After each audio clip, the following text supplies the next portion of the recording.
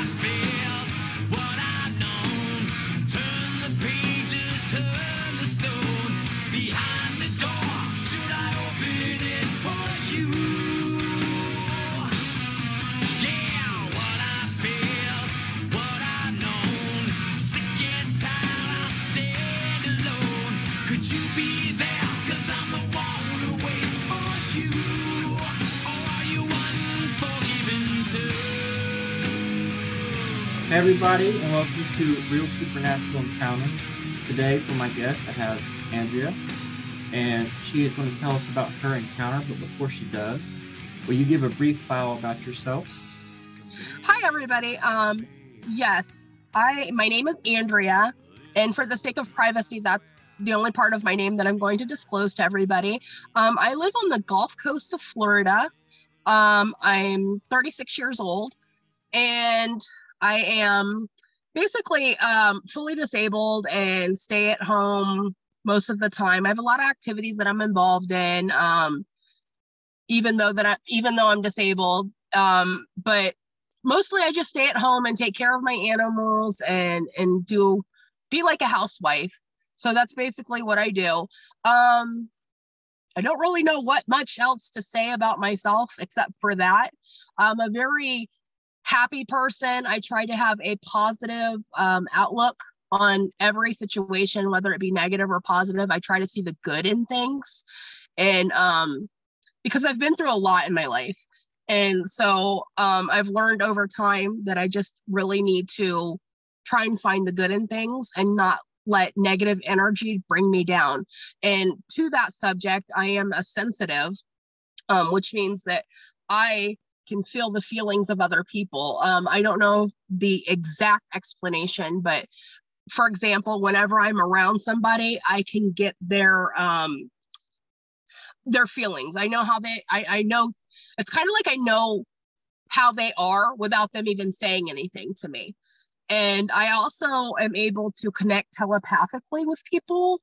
Um, and most people that that happens to, they don't realize that that's even happening. It's just something that I'm able to do.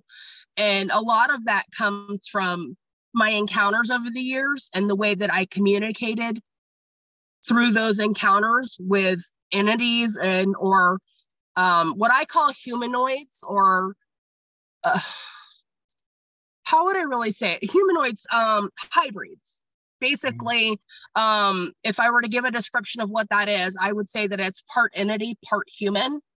And I've had a lot of interactions with those type of entities, and um, it's all been telepathic. There's no there's no vocal vocal part of that. Everything, every communication with any of those entities have all been telepathic. So that's something that I've been able to bring to my waking life and use in my everyday when I meet people. And even it's so weird, I have like this connection with animals too. So, like, I'm able to connect telepathically with animals as well. But yeah, so that's basically um, a little bit about me. And I think I think I'm done with that, but um, I'm ready to move on to the encounter.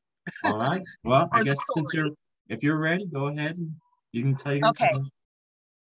Okay, so bear with me, you guys, because I might get caught up a couple times on on the story. It to me seems like a long one, and there's a lot of details involved, but I'm gonna be um, as accurate as possible and as candid as possible when I tell you guys what happened.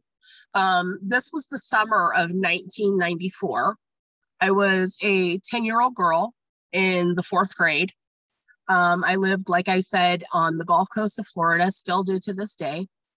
Um, and I lived with my father at this time. And not to get into a whole bunch of detail about my life as a child, but I came from a very, very abusive beginning.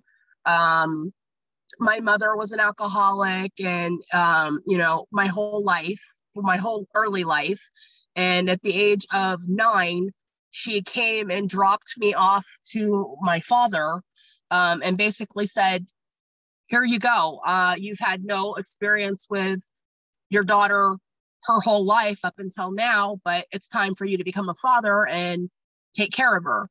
So basically, that's what happened. My dad, um, at the time, was in a relationship and had a, another small daughter, but there was, you know, marital problems because of what my mom did and how she brought me and just dropped me off with him.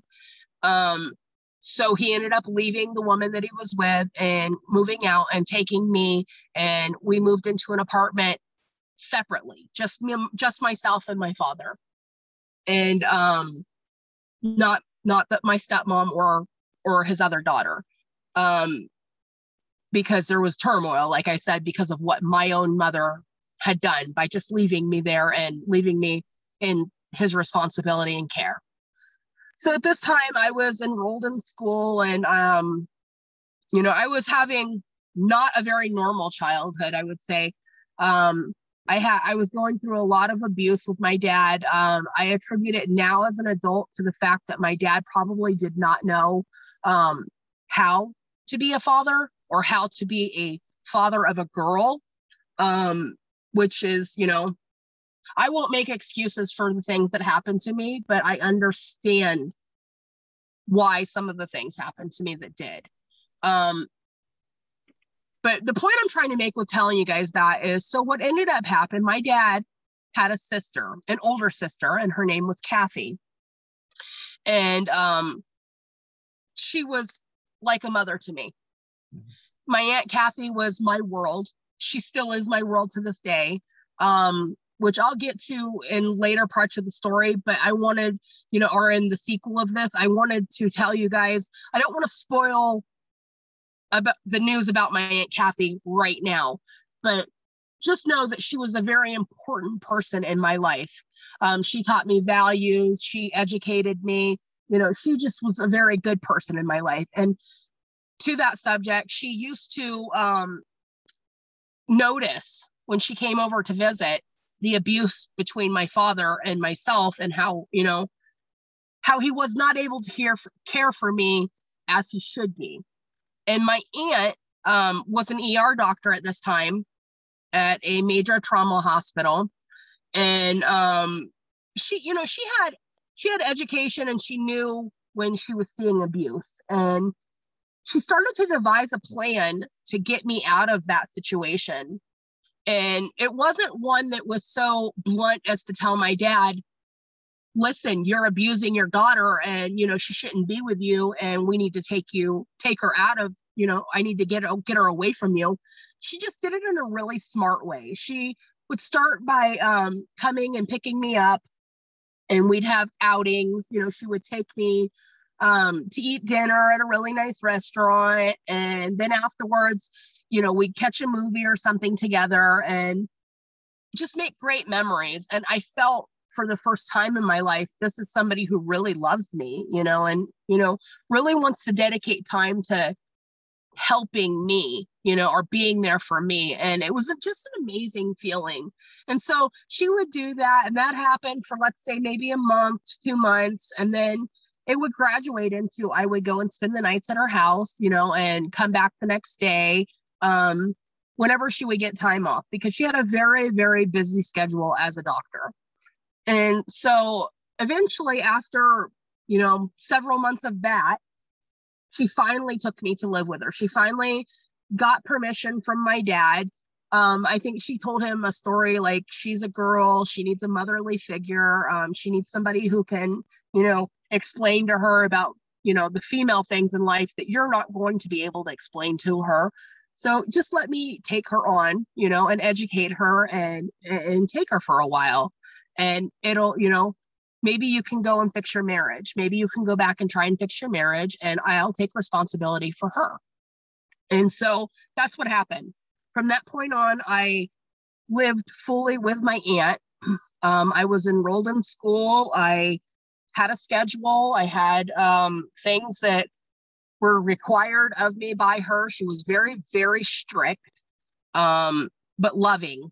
Um, I always knew, which I'll get to later, I always knew that when I was in trouble, I always knew when she was serious and when, you know, things that she said you better pay attention to. Um, we are to that point also we are um, half italian and half cherokee indian so if you can imagine a crazier mixture i don't know. I mean but we the italian part of my aunt was the strict one. You know i remember being cussed at in italian and as a, a small kid and i'm like you know not even knowing what she was saying but yeah you paid attention regardless. So anyways i lived with her full time. Life was great. You know it was a lot better than it was with my dad. And um, we would do all kinds of fun things. And one weekend or leading up to one weekend my aunt had mentioned that she wanted to take me on my very first camping trip i was ecstatic i didn't know what camping was i'd never heard of camping um, but it was explained to me that we were going to go out into the woods and do all these fun activities. Um, like I was going to go fishing for the first time, which was so cool. Um, I was going to look for artifacts, which were like, you know, arrowheads and blown glass or pottery that may have been left by the Indians. And, um, you know, just I was going to be able to drive a car. Like she was going to teach me to drive. So there was like some really cool aspects to that camping trip that I was anticipating.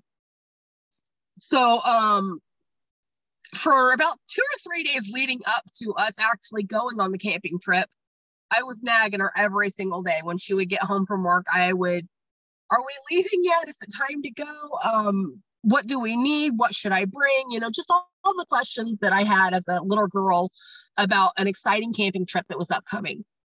So it was a Friday when we finally left for our camping trip. But on that Friday, I remember us packing. At the time, she had a. Um, I'm to try and remember what this car is.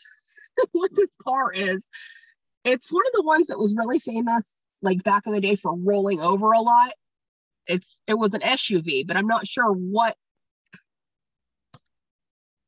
maybe I want to say maybe like a Kia Sportage or some kind of Jeep family SUV. I'm not sure, but it was definitely like one of those tomboy type cars for a woman to have. I guess I don't know. But anyways, I remember us loading it up with every single thing that we could possibly need for this camping trip. We had a tent, we had like chairs to sit in, a camping stove, a cooler. Um, we didn't have, I mean, blow up beds weren't a thing in 1994. So we had sleeping bags, which was cool, and pillows, and you know, just all the comforts, as much comfort as we could have camping.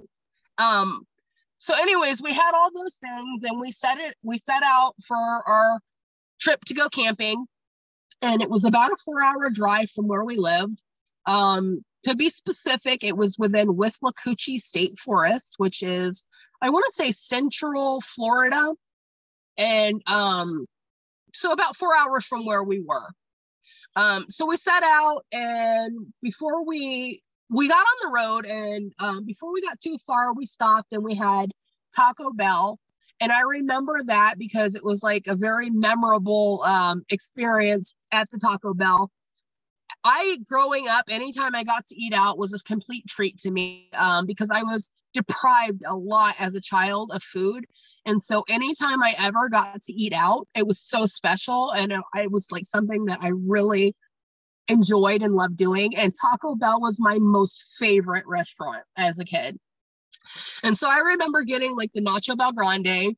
And my aunt got the, at the time, they had this I don't know if they still have it to this day because I'm not a fan of Taco Bell today, believe it or not. I do not. but um, at the time, they had like a taco pizza, and she got that. And I remember there was something she didn't like some of the ingredients on it, or there was something wrong with it, and she made me go back in and return it and get her a different one. And then so that happened, and we ate and we enjoyed our dinner, and we took off again on the road. I remember the road being like a very long two way road. Like, so we were going one direction. I mean, this is like an like an old country road, like an old highway. Um, so we were going one direction, and coming past us was a lot of semis and you know other vehicles, and it was just this two two lane road, and everybody was so close together, and you know there was big trucks passing us every couple minutes, and because my aunt she was a very cautious driver, and so it seemed like a trip that you know was going to take us the four hours that it needed to take us really took us probably like six. But getting closer to the actual area where we were going to go camping, um, there was one town, I want to say maybe an hour outside of the area where we were going to go camping. And um, there was a Walmart. We stopped at the Walmart and we loaded up on everything that we needed for the cooler, like food, uh, drinks, uh, everything that was needed to sustain us for three days of camping. So we got um oh also we got s'mores, which I was super excited about because who doesn't like s'mores? Um, I never had heard of them up until that point, but my aunt explained to me what they were, and I was very excited to try them for the first time. So we did that, and um, after the Walmart stop, we made our way back onto that road and continued on. And um, I remember in that area of where the of where the state forest is, there is a very small rural town there with like maybe one mom and pop restaurant and a gas station and just you know very basic, not not not anything really um, like a big city or or town would have. But um, I didn't see that until later on, anyways. I just um, I just knew that the, the area that we were in was very rural and very surrounded by trees. It was the forest. We were basically going into the middle of the forest. But um, all of a sudden on that main road, my aunt turned off and went down this like dirt road trail. And I was kind of like, I don't know, you know, what's going on here? You know, is this, are, are we lost? Is this the road we're supposed to be on? But my aunt knew exactly where she was going. Um, she grew up going to this campground as a young girl and had been there many, many, many times. And um, so she knew there was no doubt of where she was going or getting lost or anything like that. So you have to remember also back in 1994, GPS wasn't a thing. So anytime that we needed um, to find out where we were at, she would pull out a map and and look at the map but she did not need to do that for this trip she knew where we were so i remember traveling like let's say maybe six or seven miles um, in down that dirt road and deep into the woods.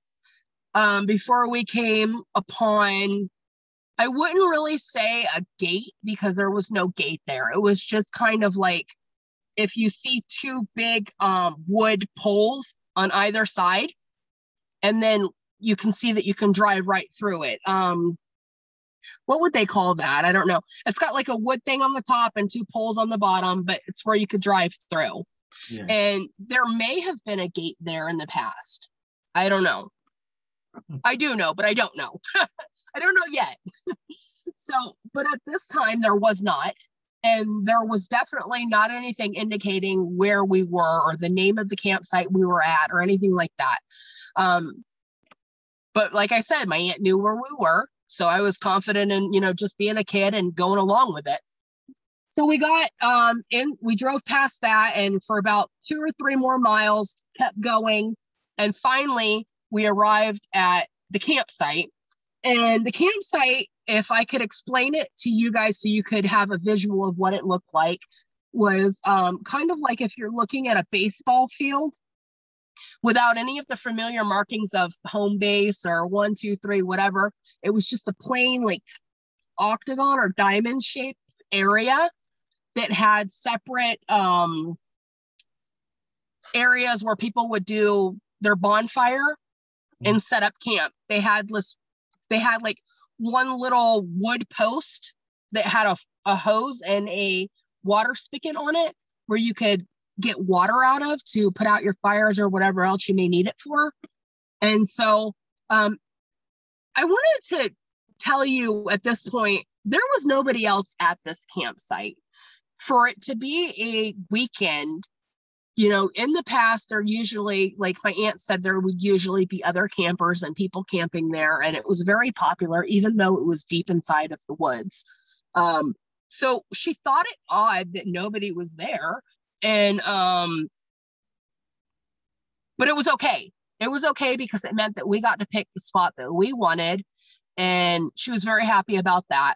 And she found out, she found a spot um one of the more secluded spots in the back that was had the tree line right behind it and a little trail. And so it was a really nice spot. And i remember us parking and she said we're going to set up the tent. And that was the first thing we did. I had never had any experience with setting up a tent but um, like i said for my aunt everything was educational. And so she taught me for the very first time what it meant to how, how to set up a tent what you had to do and we did it. We set up the tent and so then after that, the next um, steps or the next things that were imperative that we do because it was already so late in the afternoon was to, sorry, there's a fly that just flew in the car,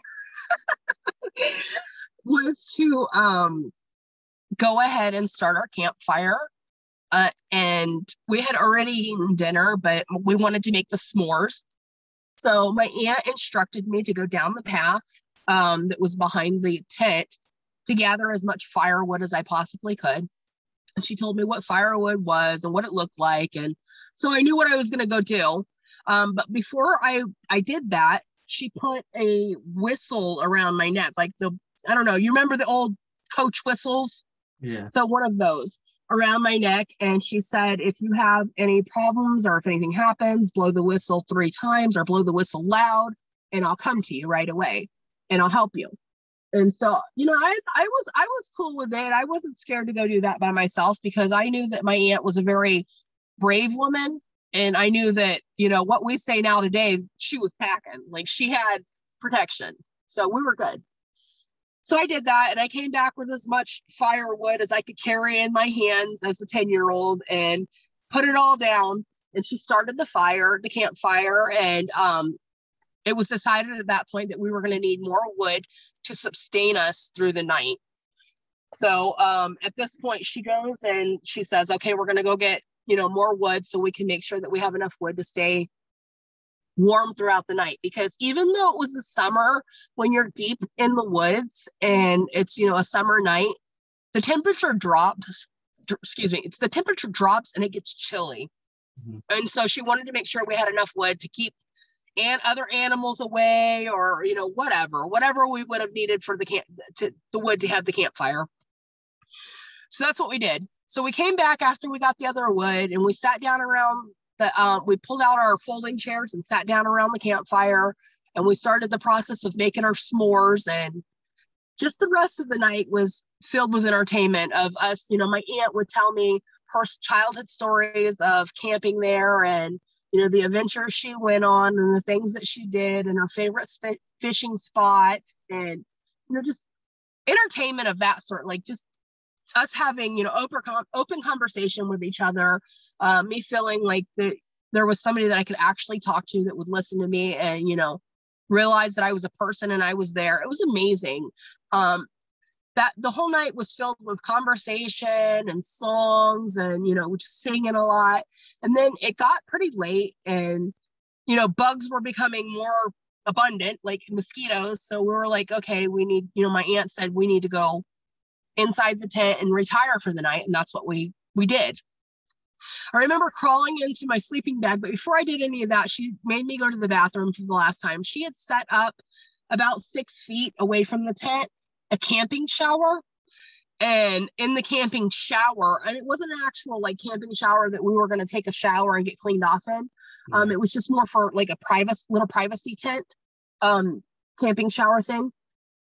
Excuse me my asthma. Um so she set that up. And inside of that i'm not going to try and be very graphic here but inside of that was if you can imagine the five gallon buckets and then you know a little comfortable seat to do your business on. That's what was inside of there. And so um, I was instructed before I got in the tent to go to the bathroom. Um, and I did that. And then I came back and I got in the tent. I remember getting in my sleeping bag, she was in her sleeping bag or on top of it, something like that. And we just continued on um, with our conversation and singing songs. And I remember that there was one specific song that she was trying so bad to get me to learn. And she's, you know, I, I would she would tell me the lyrics of it, and she would say, No, it has to come from in here. You have to sing it from in here, not not just your throat. It has to come from down below. And I couldn't grasp the concept of that. I, I just wanted to sing it from my throat and sound like ah, and it was horrible. but um, and I also remember getting very bored with the song really quick. But I remember to this day exactly the name of the song, and it was uh, "Find the Cost of Freedom" by Crosby, Stills and Nash, and just the lyrics of the song you know um, how they resonated with me and how they still do to this day as a as a memory of my aunt um but anyways that that that song was sung i got bored with it i begged her to move on to a different song that was more current for you know 1994 i don't even know what was what what songs were popular when i was 10 but it was definitely something other than like a 60s or 70s song.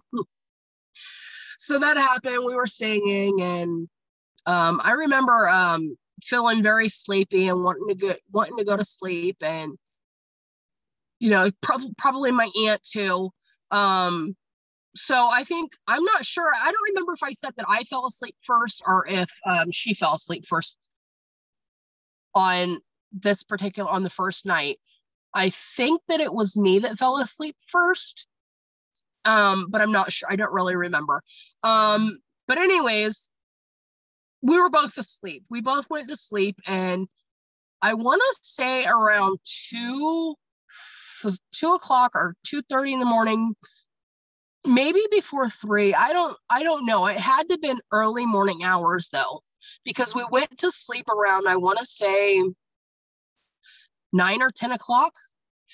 But um when i woke up again it was um very very early in the morning. I'm stuck because I'm trying to, my brain is trying to remember exactly what time it was, but I know that that's not like it's not probably logical for me to try and remember the exact time. But, anyways, I ended up waking up to noises. I heard noises around the tent. Um, I heard like clicking, like, and that was odd. And then I heard like um something walking around behind the tent and breaking branches. And so at this point, this had been going on for I want to say about 10 to 15 minutes of me just laying there listening to this stuff. Mm-hmm. And I was getting increasingly more terrified of what I was hearing all around, like the sound of animals, like the noises that, you know, animals make in the deep woods and stuff like that. And it was, it was scaring me. And so I ended up waking up my aunt and telling her that I was hearing somebody or something outside of the tent or around the tent. And being the person my aunt was, she uh, immediately told me to stay still and not get out of the tent. And she opened the tent door, um, of course, with her protection in hand, and walked outside of the tent and was looking around. I don't know how far out of the tent she went, like how many feet or steps or anything like that, because, like I said, I was instructed to sit still and not move.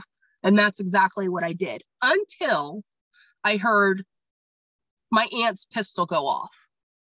And when she disfired her weapon, I immediately jumped up because it frightened me so bad and ran straight out of the tent to find out what had gone on or what, you know, find out if she was okay. And so um, when I did this, she immediately instructed me to get back in the tent and started pushing me. She came towards me and started pushing me back into the tent. And she explained to me that she heard some branches breaking and noises too. And she just fired her weapon. So, as a, like a warning shot.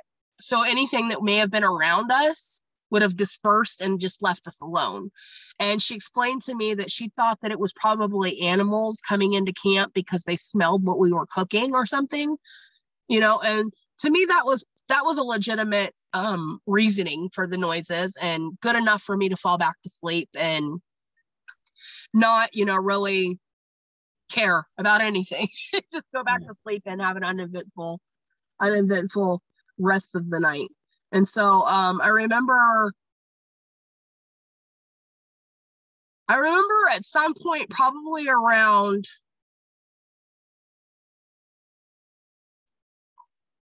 i'm not sure if it was if it was saturday night or no it was friday night. So this was friday night. So i woke up the next morning saturday um, without any further issues. There was nothing you know anything to really speak of. And when I woke up, we got up and did our hygiene and you know, we were had a lot of events planned for that day, things that we wanted to do. And so I remember that this was now Saturday and um, we were going to set out early because and we didn't have to, you know, do anything with the tent because we were staying another night anyways and so it was great. We could just get in the car and go. And that's what we did. Um, the first thing that we we the first activity that we decided to do was fishing, which was so incredibly cool. I've never in my life fished and I learned how to put the worm on the hook and you know just get all gross, get like get my get my fingernails full of like wormy worm stuff which was so gross but so cool. And um we fished. I cast that she showed me how to cast off um my pole and I sat on this big limestone, like natural limestone. Um, for a lack of other words, I'm going to say pier, but I don't know, ledge maybe, and just sat there and fished. And I could have literally stayed there all day long and just fished because it was the coolest thing I'd ever done in my life. And the the river was flowing, and it was just really beautiful and cool. And um, but no, we couldn't stay there all day and fish. So my aunt was like, we need to move on to our next activity. And we did. Um, I think the next thing that we were supposed to do was um, I think we were going to I want to say that we were going to um, look for artifacts or metal detect. I don't know what it exactly we were going to go do, but we went to do that. And I remember getting hungry, um, like wanting to eat because it was breakfast time. And, you know, so my aunt was like, you know, I'm going to drive you into town to the mom and pop restaurant that is um that's there and she had been to it many times and so we went and we ate and the pancakes were amazing. They were the best pancakes I've probably ever had. so um that was that was that was a nice experience and then afterwards um we went to a first aid uh not first aid we went to a gas station a little like gas station that was right there and got boiled peanuts and you know some first aid stuff because um i had on my right leg i had um something. I had like some kind of gash or something on my right leg that had dry blood on it. I don't know how i did it. Um and i didn't, we hadn't noticed it until then but my aunt was like you know you need we need to clean it out so it doesn't get infected. And you know and she wanted um she wanted just some first aid stuff. So she got that and you know some bug spray for the mosquitoes and whatnot. So we left and um got back to doing our activities of the day. And so on saturday there was this cave that my aunt wanted us to go see. Um, it was called Blowing Hole Cave. And I don't know the history behind it or how it got that name, but as a child, my aunt was able to go inside of it and explore it and um, to a certain point, and then you know you can't go any further, I guess.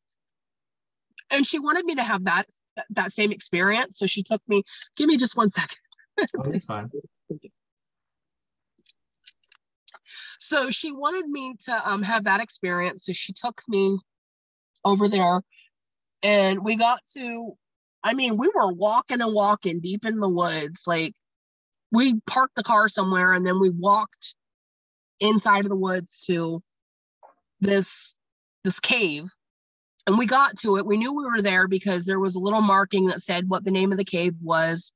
And then there was a another sign like a more formal sign that said that the cave had been closed off and that nobody no entrance was permitted into the cave which was a complete bummer because we really really wanted to go into the cave but it didn't happen. So we just ended up exploring the rest of you know around that area metal detecting which was something another activity i'd never done before and i remember you know it getting probably around four or five o'clock four, maybe by four or five o'clock in the afternoon at this point. And my aunt was like, we need to head back to camp before it starts getting too dark and, you know, do dinner and, you know, get our hygiene done and just, you know, relax for the rest of the night. And that's what we were going to go do. So I remember getting back to camp and I was instructed again to go get more firewood. And my aunt started the fire with the first wood that I brought. Then again, we went and got wood together and she started dinner. Um, my job in that was to just roll up the we were having hot dogs and roasted potatoes and i my job was to roll up the potatoes in tinfoil and like put salt and pepper on them it was going to be like a really um a really basic campfire dinner like there was not going to be any sour cream or butter or anything that you do with baked potatoes um there was no buns for the hot dogs. It was just going to be very basic and enjoyable. and it was. And so I remember that happened. And then it, it was getting dark and the bugs were becoming more abundant again. And so we got inside the tent again to go to bed on Saturday night. And um, that went off without a hitch. We were asleep within no time. And um, I mean, we had talked to each other a little bit and cuddled and you know, whatever. And then we were asleep. And so around five o'clock, not even five o'clock, uh, that's a lie, maybe probably around four o'clock. Now, these are just estimates of time in my brain. Like, I don't, I can't accurately say, hey, it was two o'clock in the morning because I don't have any concept of time during this. Really, I don't. Um, I just imagine based on seeing, you know, outside and what I felt the time may have been. So around, let's say four, three or four o'clock in the morning, more probably more towards three, I woke up again. And this time I wasn't hearing any noises or anything. I just really, really needed to go to the bathroom. And so I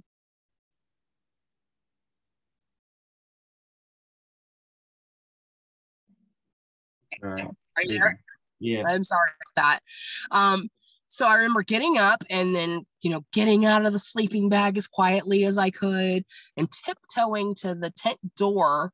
Um, that Oh, I didn't mention, I forgot to mention, this is probably irrelevant, but before I went to sleep that night, my aunt had taken off the roof of the tent and we were like stargazing and stuff like that. But before we went to sleep, she put it back on. Um, but that's just a detail I forgot. But, anyways, I was trying to unzip this tent door that had like now that I think of it, it was like a bank vault. It had like three different sections that you had to go through to get out of the actual door.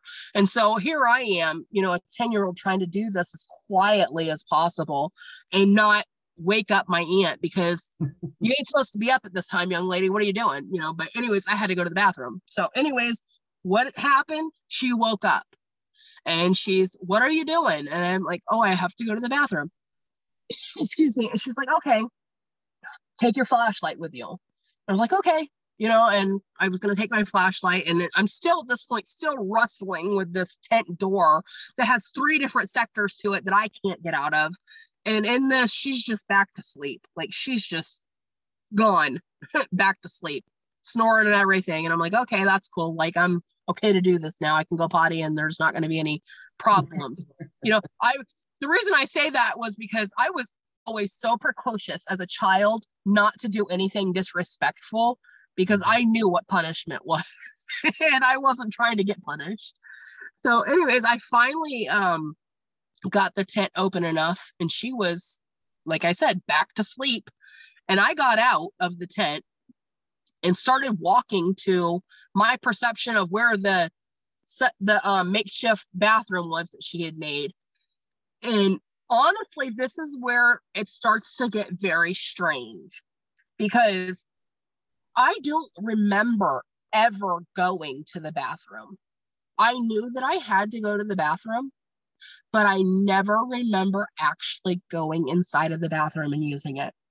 I remember my only memory that I have for the rest of this whole night was being not being stopped physically, but being stopped in my tracks by lights that I saw um, mm-hmm. over like the trees. So if we're right here, then oh, across, like across the field and in the trees, yeah. I saw like I want to say like at least I don't know, maybe six, maybe maybe four black helicopters. But that's what I thought they were, black helicopters, um, just hovering above those trees and the lights that were emanating from them. And I remember just seeing those and thinking, you know, what are helicopters doing out here at this time in the morning? But I have to be honest, and I'm going to be so honest and completely candid with you guys. I really do not remember anything past that point at all. Okay. So in the morning, maybe five o'clock in the morning, six o'clock in the morning now, I am, I wake up again and I sit up, and my aunt is up already. She's inside the tent and she's been up for a little while. And um, she's sitting there reading a book um, that she brought with her. And this stern look comes across her face. And I knew that look. I knew that that was a look that you're in trouble, that you did something you weren't supposed to do. And she had my full attention. And so her next words were, Andrea, do you remember what you did last night? And I kind of like was very quiet and cautious with my next words because there was no way that I was going to say something that um, would have got me slapped in the face because that's exactly what would have happened. As if, if I would have said something, you know, that was, you know, something she would have combated with, you know, I know damn well you did something, you know. So, anyways, so she says to me, look over there in front of the front, like where the tent, you know, it was a pretty big tent. And she's telling me to look at the at the tent door and she wanted me to look at the ground in front of the tent door. And she says, You see all that dirt and mud in front of the tent door? Says, How the hell did you get all of that inside of this tent just by going six feet to the fucking bathroom? Excuse my language. Basically, exactly what she said to the bathroom. And um, so at this point, I was not even going to begin to deny anything she was accusing me of doing um, because I knew that there was going to be a uh, uh, there was going to be a, a, reaction to me denying anything. She also said, you know, why would you even think about leaving the tent door open after you came back in after using the bathroom? And I had no, like I said to you guys earlier, I had no concept of anything that happened after I saw those helicopters and those lights. I don't even know what happened. But anyways, to make my aunt content, I just, you know, profusively apologized because I was like, you know, I'm so sorry. I, I will never do that again. I will, you know, be more careful. Um, and I just remember as a 10 year old child, you know, it scared me so bad that I was crying because I knew in my mind that I didn't remember, even as a 10 year old child, I hmm. knew in my mind that I did not remember going to the bathroom at all or even coming back at all. And so, because I didn't remember these things and now I'm being accused of doing other things, it was it was terrifying for me and so i was crying and i was telling her i'm sorry i'll never do it again and you know apparently it was enough to make her you know to get back in her good graces because i was at that point told you know just do your hygiene get ready for the day and that's what i did and you know we were going to go out and do our other things that we other activities that we had planned for Sunday. Eh, or wait, is it Saturday or Sunday now? I don't know. Was it Saturday night? Yeah, it was Saturday night. It was Saturday. It was Saturday day that that, that this happened. That I was told to do my hygiene and you know whatever. I think my days are so mixed up. I'm so sorry if I'm not exactly exactly accurate in the days, but I'm trying to recall it to the best that I can. But anyways, I was told to get up and do my hygiene and get ready and that's what I did. Okay, so I remember saying earlier in the story that the first activities that we did were on a Saturday, but in in actuality, they were probably on um they th- those activities actually probably happened on on Sunday, and the activities I'm going to explain right now happened on Saturday. If that makes any sense, I'm sorry it's so confused. So, but anyways, we did that, and because we were staying another night, which would have been until Sunday, um, we didn't have, like I said earlier, we didn't have to move our tent or anything like that. We just, you know, got in the car and went and did our activities. Today, um, we were supposed to go to an Indian burial ground because at this time, um, there was a lot of Indians in, in history that had passed through those grounds, and my aunt was a was an avid um, explorer. She loved anything that had to do with exploring. And so when I had mentioned that we were looking for artifacts like um, arrowheads and stuff like that, that's probably the activity that we actually did on Saturday. And so, um, and then we made our way to this cemetery that was in the woods somewhere. And um, but prior to even getting to that cemetery, I had my first lesson on driving. My aunt um I knew it wasn't I, for me as a 10 year old, it was like, this is going to be so fun. And this is, you know, a fun activity we're going to do. And, you know, what kid doesn't want to try and drive? And so that was my, my outlook on it. But for my aunt, it was not that way at all. My aunt was, this is in case of an emergency, this is something you need a skill that you're going to need in case you need to go get us help. And so that was the purpose of being taught that. So I remember pulling her pulling off of the side of the road and saying those exact words to me and um, saying, you know, I'm going to let you do an illegal activity right now, but it's not because uh, it's not for leisure. It's just something I you need to learn, a skill that you need to have while we're out here in the woods in case you need to go get us help. And so I didn't see it like that. I saw it as a I'm getting I'm gonna try. and so so she um, pulled over the car and got in the passenger seat. Um, but before she did that, she put some pillows underneath me because I couldn't quite make over the steering wheel yet and um or reach the pedals very well but she adjusted the the seat to where I could reach everything and when she was confident that I could see over the steering wheel and also reach the gas and brake pedals um she was like okay cool and got in the passenger side but she buckled my seat got over there and she was like, um, okay, instructed me on how what you're supposed to do to drive the car. So of course there were a couple mess ups, like me almost hitting things, but I got the hang of it, you know, fairly quickly. I got the hang of it and was doing pretty good. I was staying, you know, steady on on the path and wasn't veering off. I knew how to brake and how to do the gas and you know, I was only allowed to go a certain speed, which was you know, okay, because I didn't know anything about speed. I was 10. So, so I was cool with going 10 miles per hour. It was cool. So anyway, she was helped me pull off the road. I pulled off the road um, and she got out and got behind the vehicle and um, she told she instructed me to continue driving on. Um, so I did, and it was like maybe I want to say what maybe a mile or two more that I maybe less because she was walking behind the vehicle. So it was probably a definitely less. Um, and I was continued to drive on and she was evaluating my skill of driving basically to see if I was able to stay on the path and, and do it. And so once she was satisfied with the fact that I, I knew how to drive, well, in case of emergency, um, she then said, you know, put the car in park. And then I, she wanted me to get out and get back in the passenger side. And she took the wheel again and got back in the car. And we went further up down the path to about two or three miles, basically, where we would have to park the car and get out and hike into the woods again to get to the location we were going to.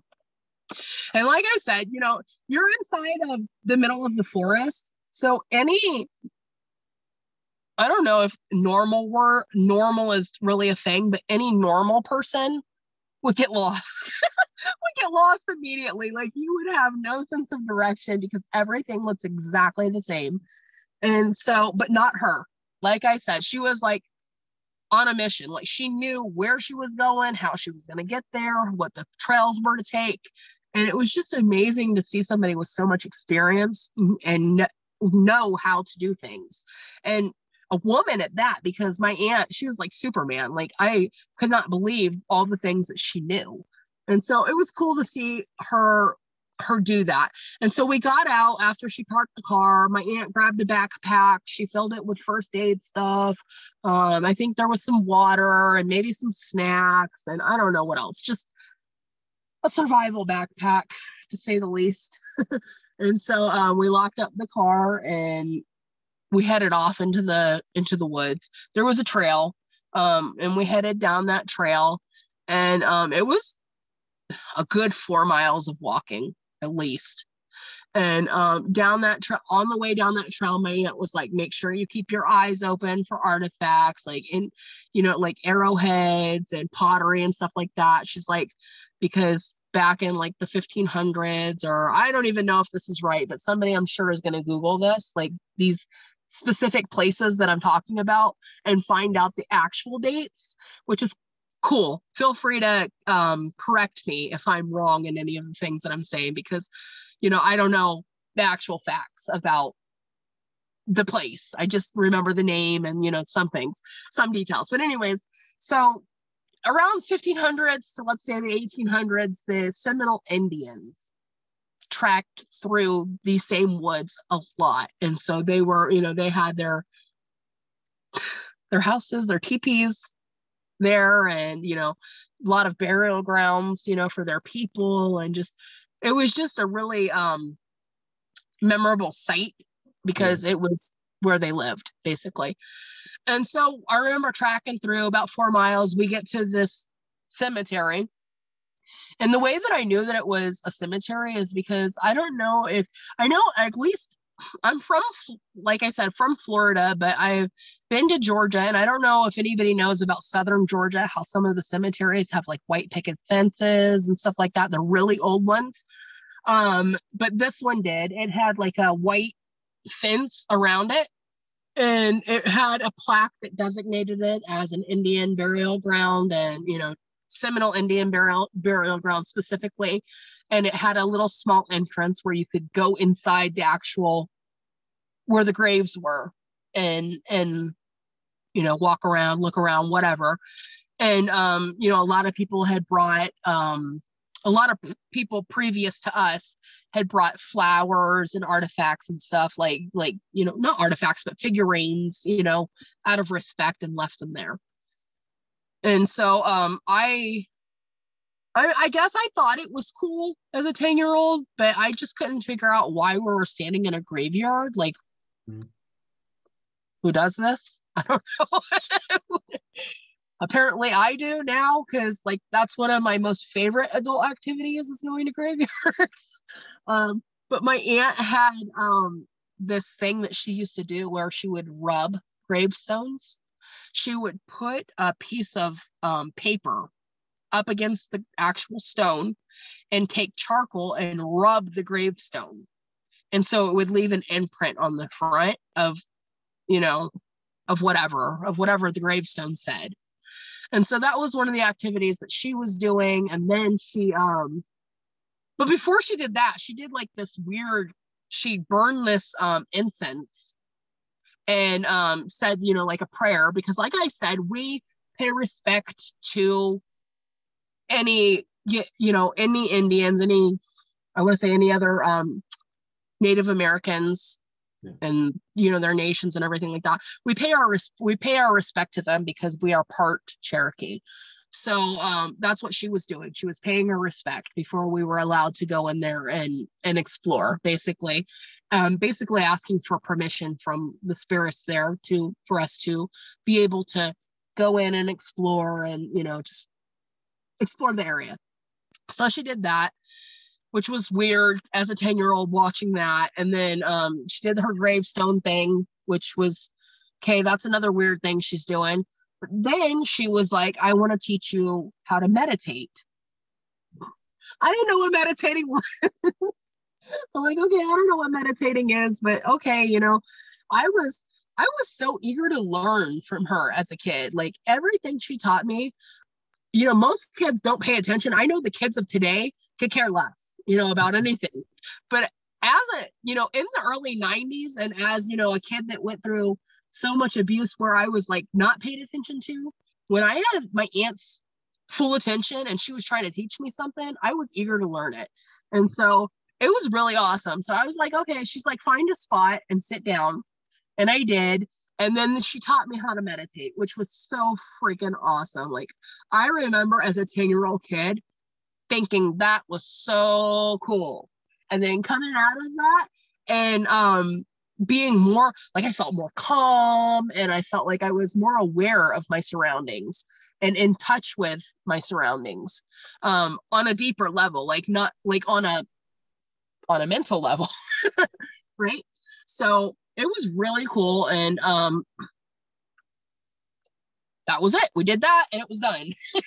and then we, I think you know, we did some other things, walked and explored some more, and then you know, got out of there and um, there's only so many things you can do in one day in the forest before the light starts getting going down and you got to get back to camp and and whatnot. So i think you know that's what we did and um it was later in the day at this point because we had done you know other activities other things that she had thought of for us to do and um, we had to go back to camp because it was getting well not back to camp we had to get back to the car because we were deep in the forest and we couldn't you know um risk being stuck inside of the forest Yeah. and not getting back to the car uh, before dark. And so we had to get back to the car, and that's what we did. We went, we made our way back to the car. When we got to the car, um, we drove back to our campsite. And at this point, um, I was, you know, being told to clean up again, needed to clean up and do our routine that we were doing, you know, every night is get the wood and make the dinner and do this and do that. And that's what we were doing. And um, I remember we had probably just had had dinner and, you know, we're right about to go into the tent for the night and not come out again till, till next morning. And when, uh, when, um, a park ranger pulled up, it, uh, I want to probably eight o'clock at night, a park ranger pulled up and, um, apparently they were alerted to us being there by our smoke our fire smoke that was coming up. And so he was he was doing a round and and and i guess they were doing rounds every other night at that particular campsite um because there was some stuff going on which i'll get into. So um he it turns out my aunt knew him um because they had went to school together and so it was somebody she knew. They weren't like friends but they were acquaintances and she knew who he was.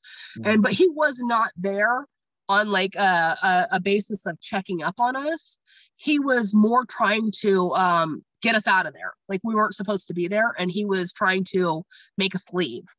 And um, he went on to explain that to my aunt and of course i was you know eavesdropping on that conversation because that's what kids do and he went on to explain to my aunt that um, they had some suspicious activity there uh, within the last couple days that you know the last couple weeks probably of um, there being like these burns on the grounds Hmm. um, but it was not he said that it didn't coincide with people's actual campfires Yeah. um because everybody had a designated camp bonfire place like there was like a a circle pit where they were supposed to have their fires inside of that pit. And if they had fires anywhere else, that was completely illegal and that couldn't happen. But it was. So he was, well, I mean, I don't know if it was actual fires or what it was, but he said that uh, he was telling her that there was like these incidents of on the trails there being burns and, you know, like things that should not, you know, should not be happening.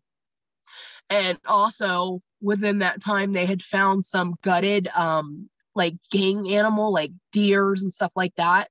Um, and that was a, also highly illegal. You're not allowed to kill kill protected state um, state animals like that.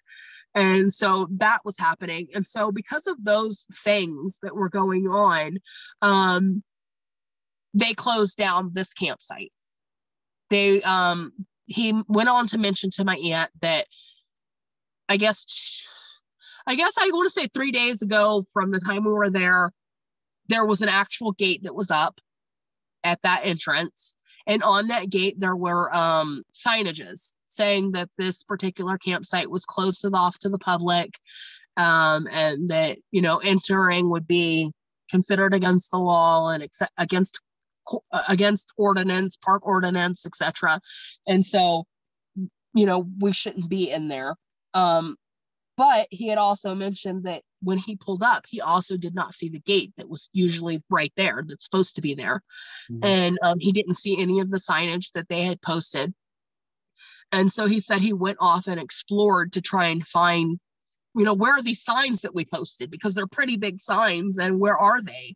You know, and he said about 15 feet away in the woods, he found the sign that was, you know, directing the people to stay out upside down. And um obviously picked it up, put it in the back of I guess his his truck or whatever. And he had told my aunt that um at this point my aunt was like, you know, listening to this and she said, Well, it's already really late at night, and you know, I don't want to risk driving out of here, you know. I just, you know, basically begging him to let us stay just until the morning, the early morning, and we would be on our way. We'd get up and just, you know, be out of there because we didn't want to really drive. She didn't want to drive. We, I say we because now I'm a driver at 10 years old, but she, she didn't want to really drive out of there that late. And so, um, I think at that point he agreed to letting us stay one more night. And with, with, with telling my aunt that you need to be out of here very early in the morning because we have work crews coming to fix the gate and repost the signs. And um, my aunt was in a agreement. And I think at that point he got out of his truck and he, it, was like he was inspecting our campsite. Like he wanted to make sure that we were, you know, doing everything that was legal that we were supposed to be doing. Like he wanted to look inside of our tent, um, he to make sure. I, I guess maybe he thought we were stowing away animals or something inside. I don't know, but he wanted to do that, and he wanted to look in the cooler, and I think he was doing that to make sure that we didn't have like any illegal fish or something. I don't know. Mhm. And um, after he was content with the fact that we were following the guidelines and doing what we were supposed to do while while camping there, he um, made it clear to my aunt one more time.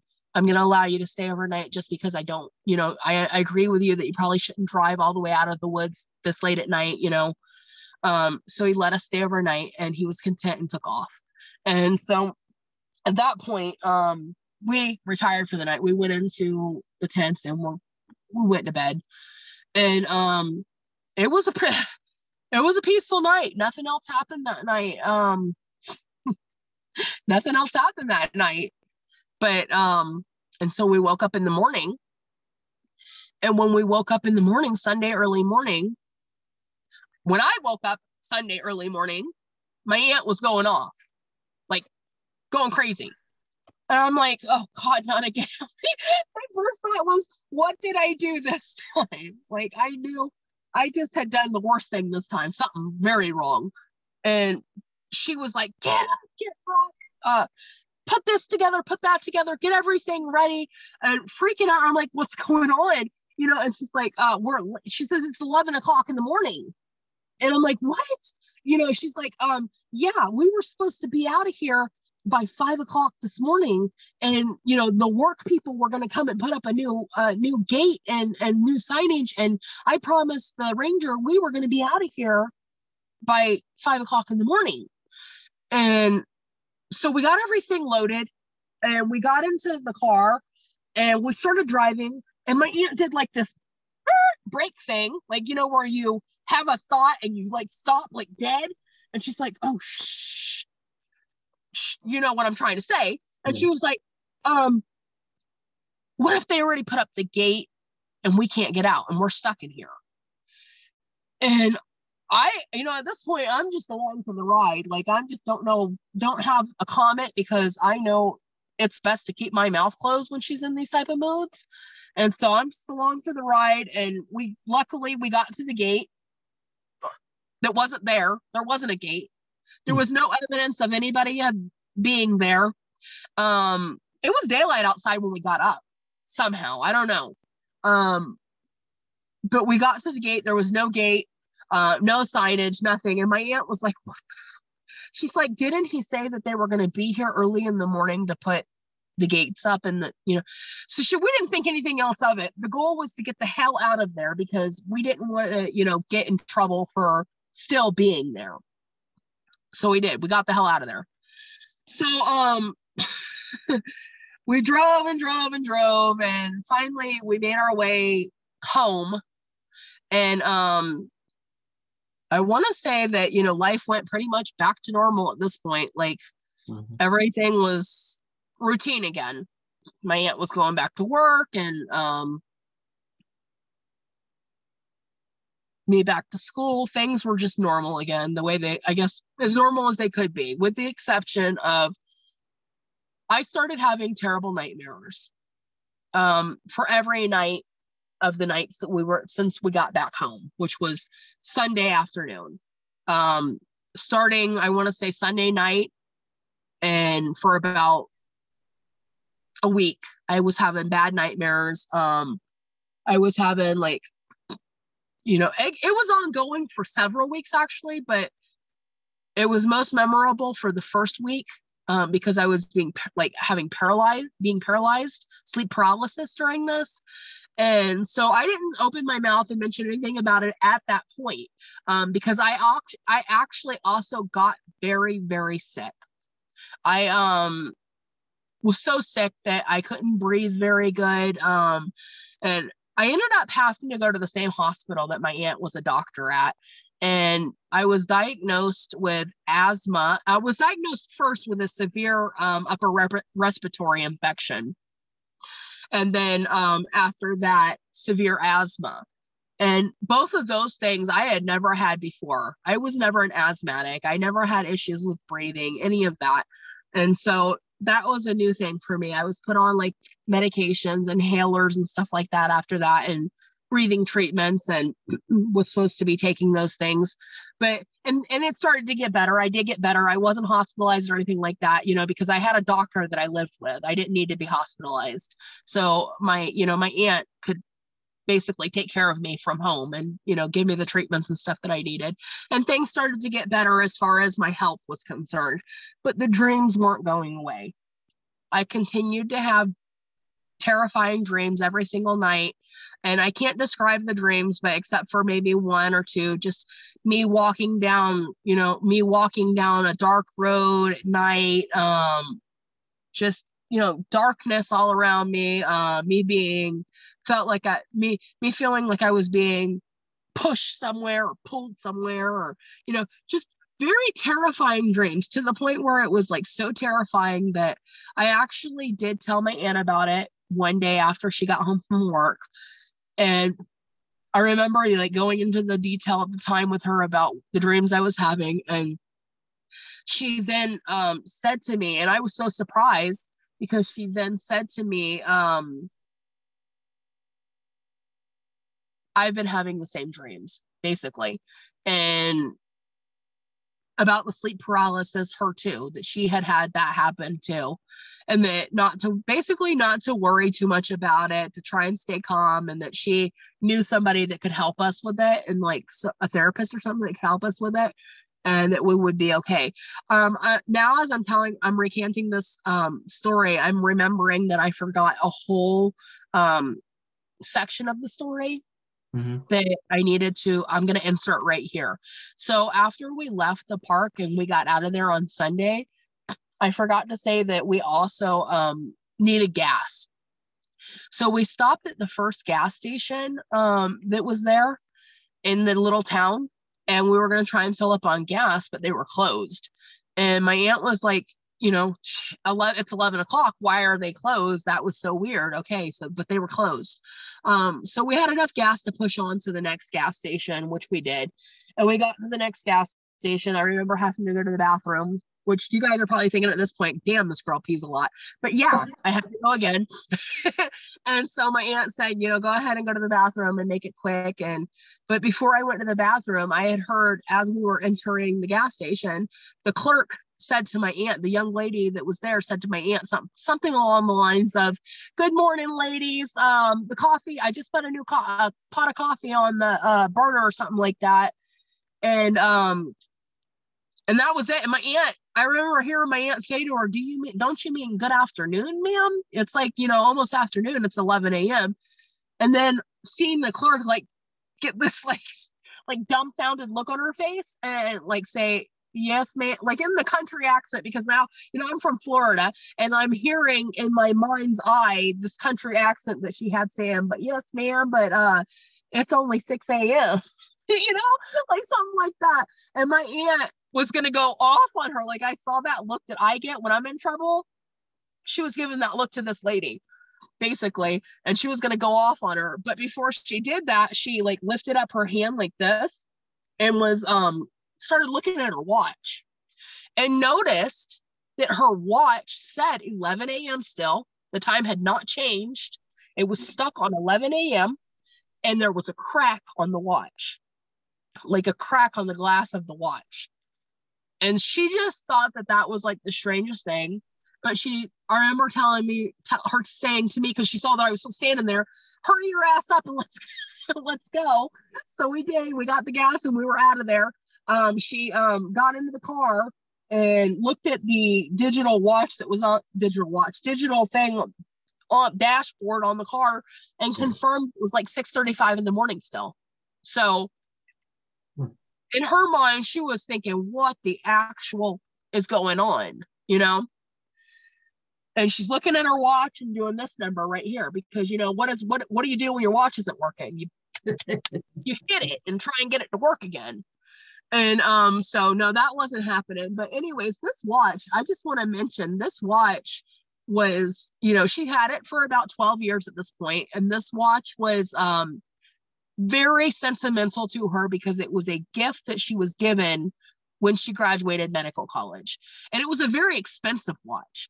And so she even used this watch um in her hospital setting as a doctor. You know, she would call time of death with this watch. She would, you know, this watch was very important to her and it was on her every single day. And for the 12 years that she had it, up until this camping trip, it never malfunctioned once. And it hmm. didn't even have a, a scratch on it. So it's just really, really odd that that happened.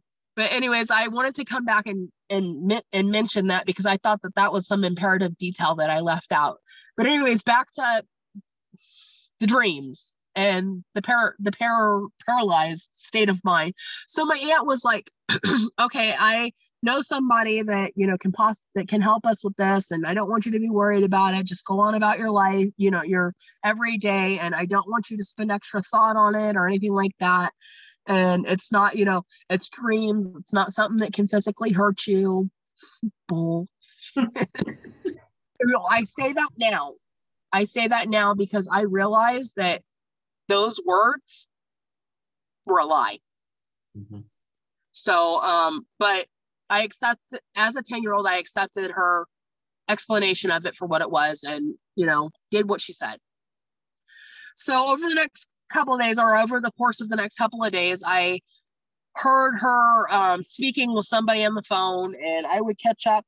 I would catch, you know, just you know the butt end of the conversation i guess between her and somebody else i had no clue who she was talking to but she ended up setting up some therapy sessions with one of a, a colleague of hers which was also like a friend or something but this person and this is the first time i had ever heard about this this particular topic or what it was can you excuse me for one second Yeah. thank you i'm going to just turn the camera for one moment if that's okay Yeah. thank you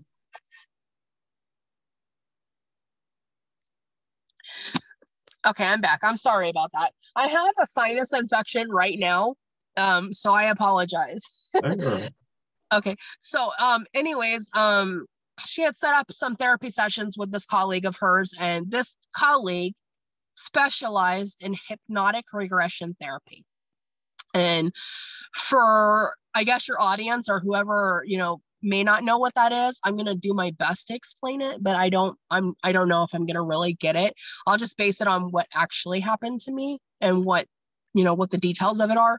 But to to to be fair in the explanation, I would say that it's like you go to a therapist and you are made to somehow remember um, suppressed memories Yeah. that you would not remember in your everyday waking life, if that makes any sense. So it's going to be like basically all stuff that's stored away in another part of your brain that you, unless you now I have access to those parts of my brains because with a lot of a lot of mental exercise, you can access those parts of your brains yourself.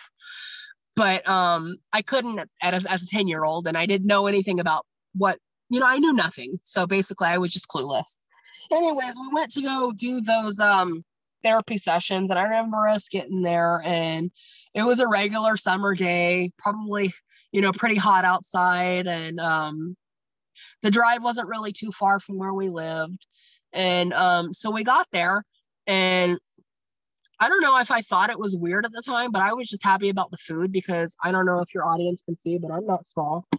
And um so the lady um the lady had made and we're going to call her for the sake of privacy Miss Janice. She had made like these little club sandwiches and they were tuna and egg salad and chicken salad and yum. They were so good. So i had had like maybe two or three of those little tiny miniature sandwiches and some iced tea and um it was good. I remember it being really good and i was excited about the food. So i'm like any therapy that comes with food is for me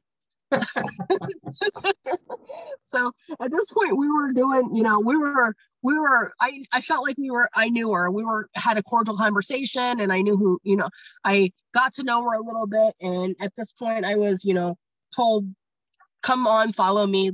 Come to my office. And so i went into her office with her and in her office um, it looked like just a regular office. Like if you can imagine any kind of therapy office and it had a small couch um, where she said you know, um, Andrea, make yourself comfortable. If you want to sit up, you're welcome to sit up. If you want to lay down, you can lay down. And I think at this point, I probably chose to lay down just because I was full from eating all them sandwiches. so, so sleep sounded good to me. so um, I laid down, and then um, she started to um, do get into the therapy. So basically, she started to explain to me what her next course of action was going to be and what she was going to explain to me, and that I needed to be guided by the sound of her voice. And she was going to explain a um, scenario to me of where, you know, I was going to feel peaceful and tranquil and be in a very relaxed state of mind. And she did that. So basically, um, but before doing that, she said to me, You know, you're going to hear me snap my fingers like three times and call your name when I want you to come out of this. And you're going to be, you're going to hear me snap my fingers three times. And then you're going to feel like you're not sleeping, but asleep. I, I don't know. So, anyways, that happened. And she had um, described, I remember what I remember um,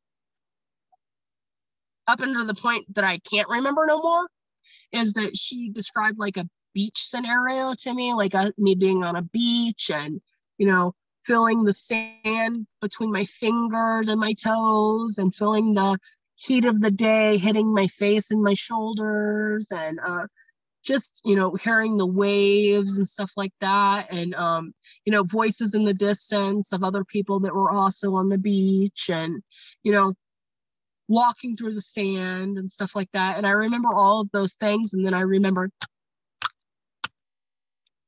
and I, I, I kind of froze right there in that beach setting, standing. Yeah. And I deattached, I distacked, I dis, like I disattached from my actual body. Mm-hmm. My body was there standing in the sand, but I had like no emotion. Um, I was kind of catatonic, wasn't moving, um, I had a blank stare on my face. And I was witness to myself from another part somewhere else. I was like the air. I was just at, you know, everywhere, but in, you know, seeing myself there. If that makes, I don't know if that makes much sense to people, but kind of like seeing an out of body experience would be the best way to, to describe this. So yeah. that's basically what it was. My body was there, but I was, my mind or my spirit was somewhere else there as well, but not inside of my body. Mm-hmm. And um, I remember, well, my body was just standing there and my spirit or my mind was somewhere else. I remember seeing myself, like I said, in a catatonic state, blank stare on my face, um, not moving, just standing there. And um, no more memories after that. Mm-hmm. Don't remember anything else after that. Then what see I, I mean for me i guess it must have seemed like in my spirit and my mind over here where i was that i was standing there like that for a really long time but i wasn't concerned like like I wasn't concerned about my body just standing there. Like I had no cares in the world. Like I could care less that I was just standing there. I was just, you know, existing Mhm. for lack of better words. But um, so then I suddenly heard the Andrea, and I was back. I um was, and when I say I was back, I mean I was back in the therapy room.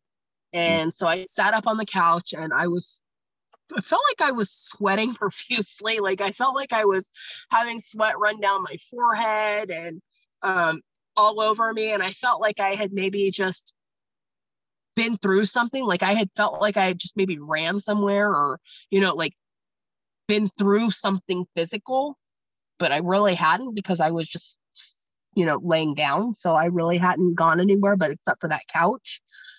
But mentally, I, I had gone somewhere. And so, um, so that happened and my session was over. She gave me some iced tea and told me you can meet with your aunt again before we bring your aunt in for her session. And so, okay, that's what I did. I, you know, hugged my aunt and my aunt at that point, you know, kind of wiped my forehead off and said, Are you okay? She's like, Do you think you need to wait, you know, outside of outside in the car? Do you want to, are you okay still being in here? Do you want to wait in the waiting room for me to do my session? And at this point, I was okay with waiting, you know, Hmm. inside and just sitting and just relaxing. Um, because that also meant that I could have more snacks and I like snacks. So, so, so that's what I did.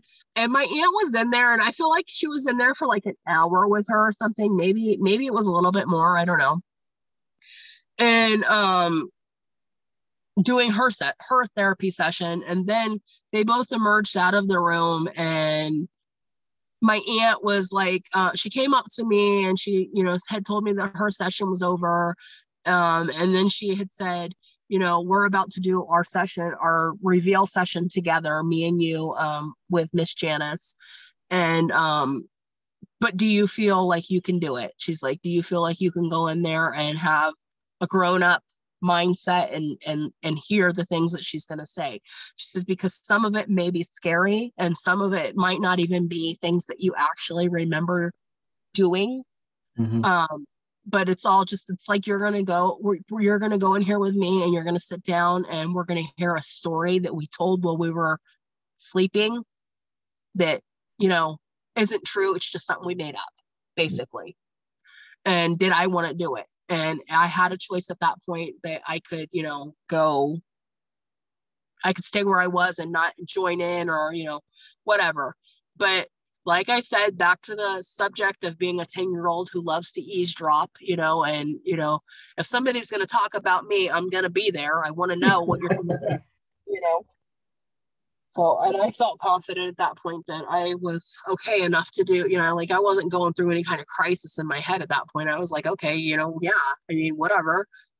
So i went back in the room with my aunt and i didn't know i feel i feel like i didn't know that miss janice was recording us when she was recording us and the things that we were saying or the you know because at the certain point where i told you that i was in a catatonic state and i was standing on the beach Mhm. I guess that's where I have no memory of her asking the questions that she asks and the things that she does throughout the um, recording. Yeah. But um, she starts to play back my recording first of the uh, basically of what I said and what she asked. And it starts out just as it did when I went into my therapy session with being on the beach and you know, hearing voices and walking through the, you know, all the things that you would attribute to being on a beach. Mm. And then all of a sudden, it changes into and questions. And so the questions start from her. Um, and I don't, I can't be hugely accurate on what those questions really were. Um, but I know that I remember accurately my part of this, Mhm. the, the answers, um, because they were traumatizing, to say the least. Um, and I feel like I'm gonna give, I'm gonna insert like right here a warning for anybody who's listening. Um, the next things that I'm gonna say are not easy to hear. And if you can imagine as a 10 year old child hearing them, it was very, very traumatizing to me. And I don't know who can really relate to the next things that I'm going to say, but this is the point where I get this off of my chest after 36 years. There's only been two people in my whole life that have heard this story, and now you guys. So, um, just because of like I said, there's going to be more encounters in the future, more interviews, and more. You know, I'll be on here again, and I'll be able to explain. I'll explain myself more in detail and things that are happening now because of this first experience. But um, for right now, there's a in my life. There's there. I feel like there's a lot of people watching, and maybe some retaliation. So I I will only disclose this to you guys. Mhm. You know, I know that this is going to go all over the internet and anybody's going to be able to see it. And I'm okay with that um, because, you know, it's time. It's time for me to be able to get this off of my chest, regardless of whatever the outcome may be, regardless of whatever retaliation I fear or anything like that. Um, it's time for me to bring forth this story um, because I want to inspire other people that have been living in the shadows, you know, to so so to speak, to come forward and find people like you, Anthony, Mhm. that can help them get their stories out because it's very therapeutic to get it off of your chest after so long. And um, I know when I was talking with you personally before this this show, um, when I was speaking with you personally, I know that there was a point where I was only able to tell you half of my story, and then I Mhm. had to stop because of the emotions involved in it. And I feel like I'm I'm to a point now where I am able to get through the whole story with you, Mhm. and um and on and and the viewers. Don't let me leave out your viewers, um, and let you guys know this is what happened. And so, with that said, and with the warning that I've given you, this is what happened next. Um, so I started to hear after the three clicks um, questions, and I distinctly remember myself describing my camping trip. And to be more specific, I was describing the night that I got up to go to the bathroom. Um, Saturday night, I'm not sure. I was Mhm. describing that night. And um, it went just as I mentioned before. I got up to go to the bathroom. Um, I remember now these are all the things that I I in my awake mind remember until I didn't remember anymore when I had mentioned earlier. But so I remember getting up to go to the bathroom, fighting with the door, my aunt waking up and uh, saying, "What are you doing? Put a flashlight when you go," uh, etc. Um, but now, um, I woke up, fought with the door, had to go to the bathroom. But in this scenario, when I woke up this time, my aunt wasn't there. Mhm. I wasn't told to put a flashlight. My aunt wasn't even there. I don't know where she was. And I wasn't concerned with where she was in, in, in the process of this questioning. I didn't look for her, didn't know where she was, just knew that I had to go to the bathroom. So I got out of the tent. And instead of going to the bathroom, I was met by two entities. Um, it's difficult. It's very difficult for me to remember this because it, Mhm. it's something that I actually lived through. Um, but I was met by these two entities. They look like children. They look like children. They look like me. They were about as tall as me. Um, they look like human children, just like myself. And um, with the exception of they, their eyes were different. They had very like not the typical alien eyes you see, but more like of a, a larger almond eyes Hmm. and um really long skinny faces um and i remember if i if i can remember their what they had on it wasn't like clothes that i would wear like i wasn't you know they look like little divers Mhm. Um like they they look like they were you know diving because they had diving gear on, is what I attributed it to be. But, anyways, I was terrified. Um, I didn't know why they both grabbed my arms, what was happening, and where they were taking me.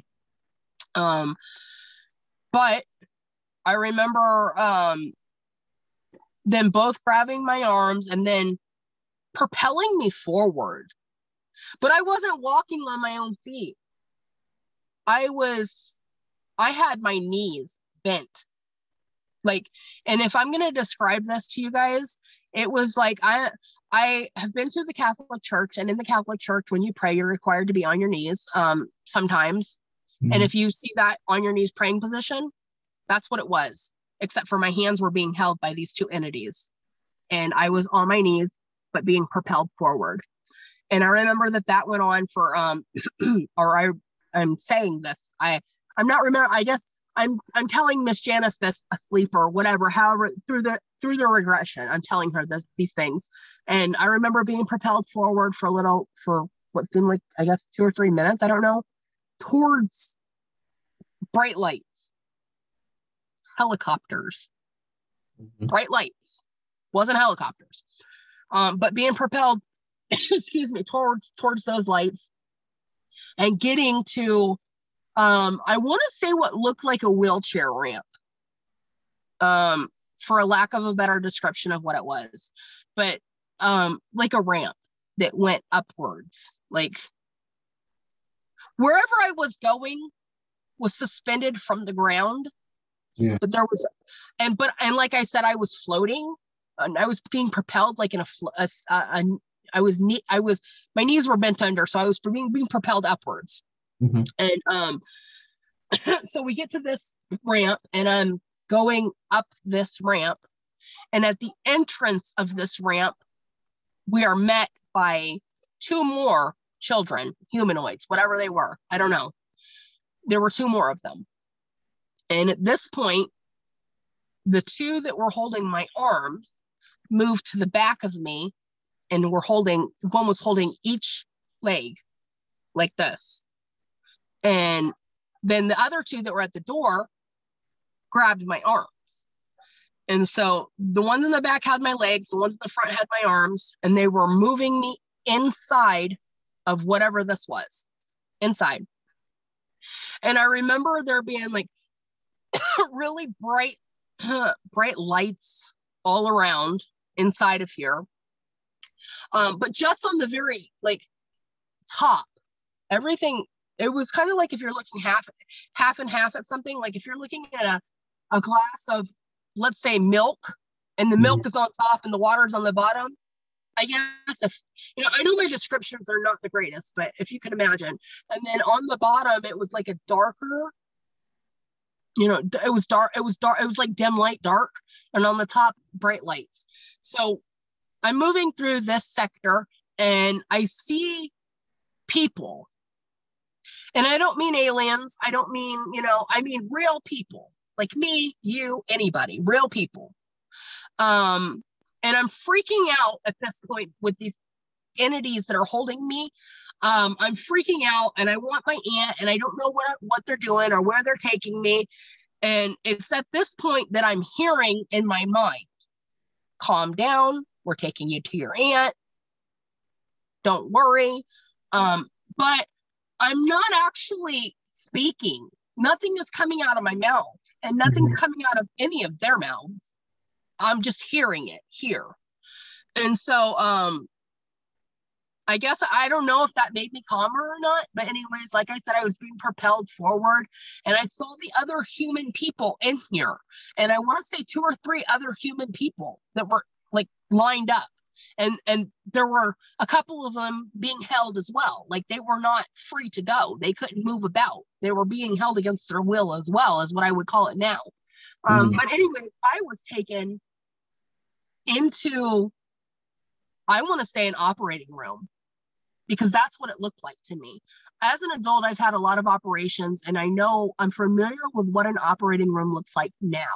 Um, at the time, I probably wouldn't have remembered that, but what I told Miss Janice during this memory is that it looked like, you know, just I I described basically the room. It was a room that had a metal table, um, where I was taken and put on the metal table.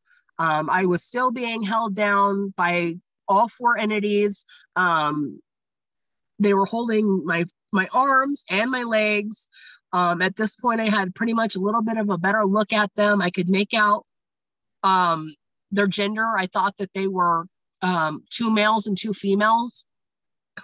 Um, because they were so humanoid, they were they looked like they looked like they were human mixed with something else. And so um, I knew I just based on what you're taught, you know, as you know, growing up, how to define male, female, you know, whatever. I knew that there were at least two males and two females. Mhm. And they laid me on the metal table and they were holding me down. And I remember still crying and wondering where my aunt was. And at this time, my aunt came into the room. Now, if I were to describe um, the lighting of this room, I would say that up until this point, it was, you know, even when my aunt came in, it was very, very dim light. It was like walking through a room that was lit up by candlelight. And so at this point, my aunt came into the room and um, she kissed, I think she kissed my forehead or something like that. And then she grabbed my arm. And when she grabbed my arm, she injected me with something. And I don't know what it was. But um, it was like a, paraly- a paralytic agent. Like I couldn't move anymore. After I was injected with it, I couldn't move anymore. And I remember her backing away and saying, I'm sorry. And I Mhm. didn't know what she meant by that. Or, I, you know, at the at that time, you know, I wasn't going into a lot of thought about what was really going on. I was just freaking out. And so um she backed away. And as soon as she backed away and was out of my view, six beings came into this theater, this operating theater room, whatever it was. And the lights got so bright that I couldn't see very good on on the top. Like on the top, what was it was like walking through the like walking and the sun is right on top of you. That's what it was like. And um they got very bright, but I could see these six beings surround this metal table that I was laying on. The four entities that were holding me were mo- they moved away, and these six beings were all around me. And these were aliens, y'all. Um, I mean, aliens. To say alien is so so touche because you don't really, you know, everybody has their description of what alien is, and Mhm. to a lot of people who have been abducted, um, alien is in is different in many ways. Um, hence the reason it's called alien which the definition is you know an unknown entity like it's like you know you don't know what what it is it's Mm. alien so these to me looked like they were all i want to say about five feet tall um they all had i think like i said it's too touche to say gray skin but they had you know like um they were in like the spacesuit things like not spacesuit but um diving diving suit things that the little the little people were in the same. But um they were white and then um their heads were very long heads. Um they had not almond eyes but big like big eyes Mhm. and not a typical no human nose that you would see but just like where a where a nose would be the two holes Mhm. and then I want to say maybe a line for a mouth. And that's the the only real memory I have, detailed memory I have of those things. Um, but then then they started to do things to me. So first, the first thing that they did was there was now I know in our our surgeries here on earth i'm going to say on earth because i don't know where the hell i was but our surgeries here um they do laparoscopic with Mhm. metal you know the metal things um and they have instruments here where they do that they when they do the actual surgeries on us that um they can burn flesh Yeah. you know to to carterize something. And so um i noticed the very first thing that they did to me was they took one of those rods those metal rods that would be like what i said you know what i said about the how they do the surgery here. But it was something like way more advanced i don't know. But they took that and they inserted it in my right leg.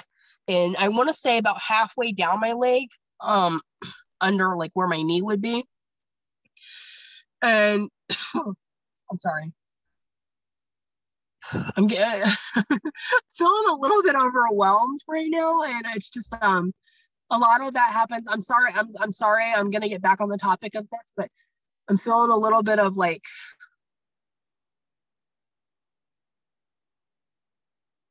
like surrounding. Hmm like i'm being surrounded a little bit right now. Yeah. and although there's nobody here that i can see with my eyes it's a little bit suffocating. But i'm gonna um okay i'm gonna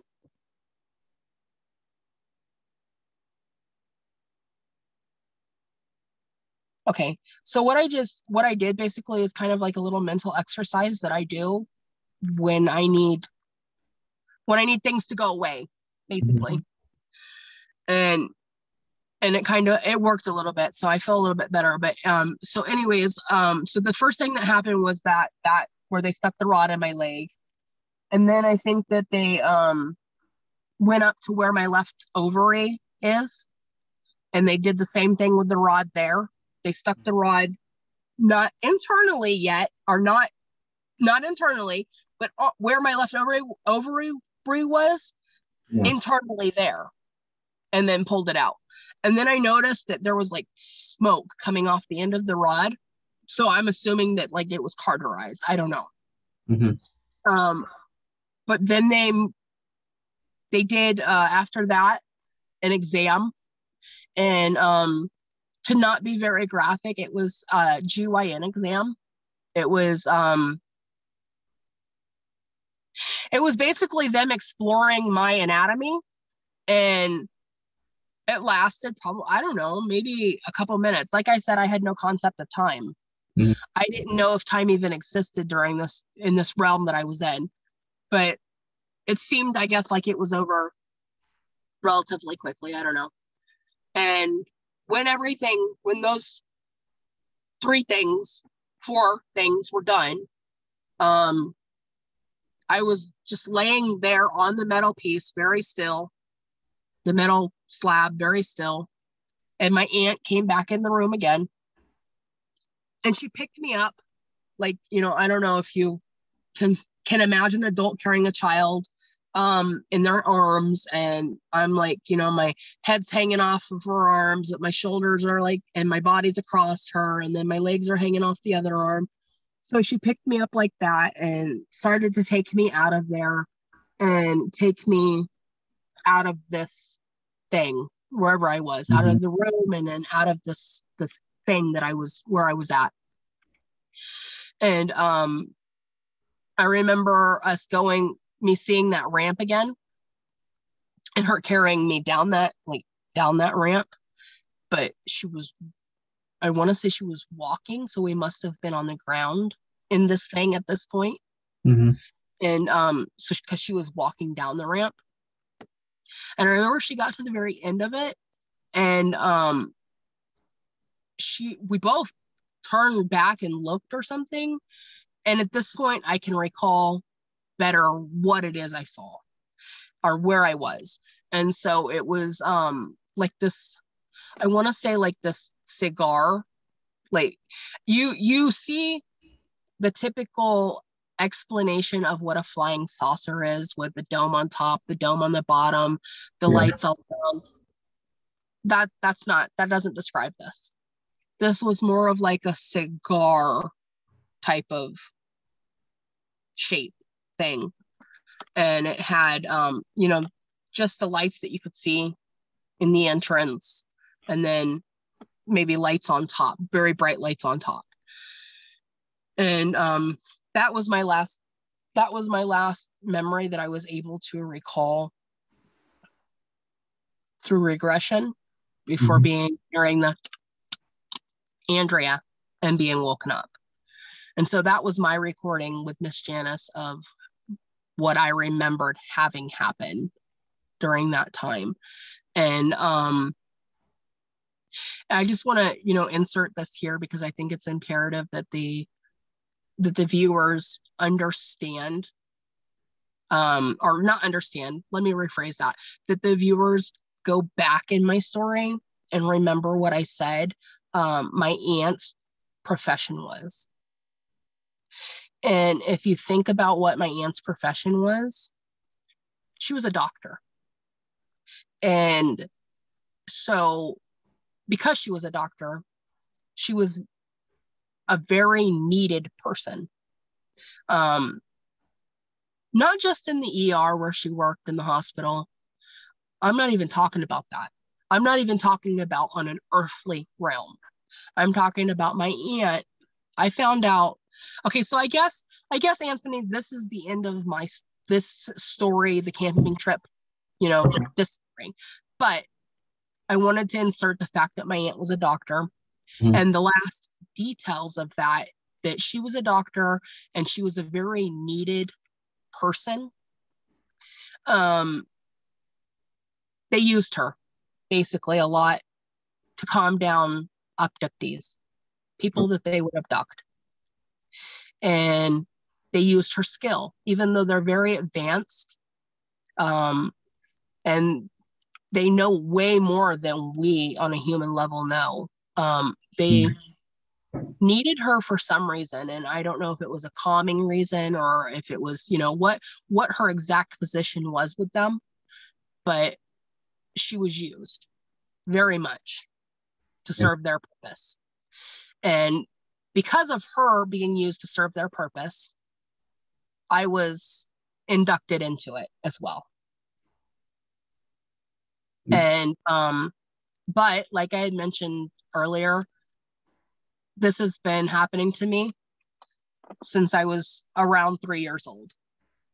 There are other stories of um, of when I was a very small child being pulled pulled out of a window with my with my older brother, and that's um that's that'll probably be my next story.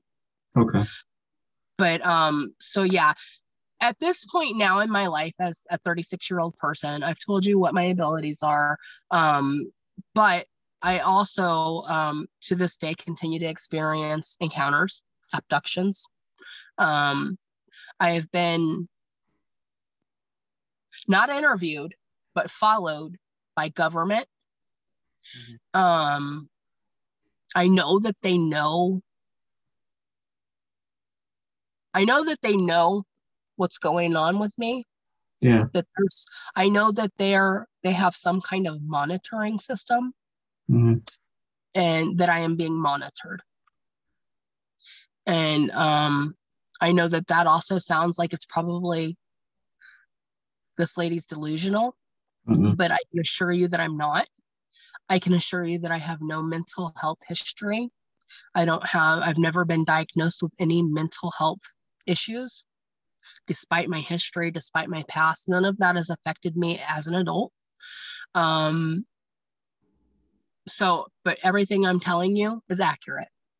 And I, I'm very precautious in what I'm telling you. I'm sure in the future more details will come out. Um, but right now, that's what that's what I have for you, you guys. And I appreciate this opportunity um, to tell you this story and get it off my chest. And more than anything, to I'm honored to be able to help other people that are going through the same thing because I know, despite what anybody says, there are other people that are going through this. I saw them.